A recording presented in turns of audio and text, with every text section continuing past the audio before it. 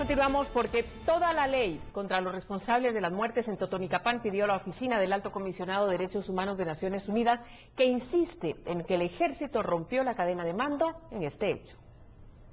La misión de observación de la Oficina de la Alta Comisionada de Derechos Humanos de Naciones Unidas también ve responsables a los soldados de las muertes de comunitarios en Totonicapán y se suma a la condena de los hechos. La oficina dice que el ejército desobedeció la orden de retirarse del lugar y provocó a la multitud. Habrían hecho caso omiso a la recomendación de la Policía Nacional Civil de no aproximarse al lugar donde se encontraban los manifestantes debido a que ello provocaría una reacción negativa. Los Estados parte no solo deben tomar medidas para evitar y castigar los actos criminales que entrañen la privación de la libertad, sino también evitar que sus propias fuerzas de seguridad maten de forma arbitraria. Eso evidencia, según el ente internacional, la incapacidad del ejército en funciones de seguridad pública. La muerte de las seis personas podría comprometer la responsabilidad del Estado de Guatemala bajo la figura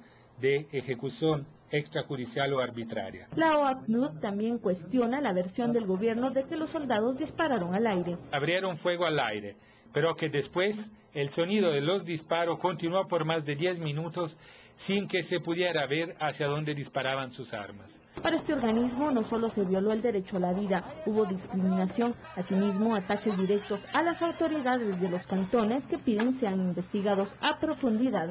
Naciones Unidas recomendó fortalecer a la policía para actuar en estos casos y aumentar su número de agentes y su presupuesto. Se emplazó al gobierno para que asuma las recomendaciones y también dé resarcimiento a las víctimas. Por una Guatemala en paz, Gladys Ramírez y Rafael Ovalle.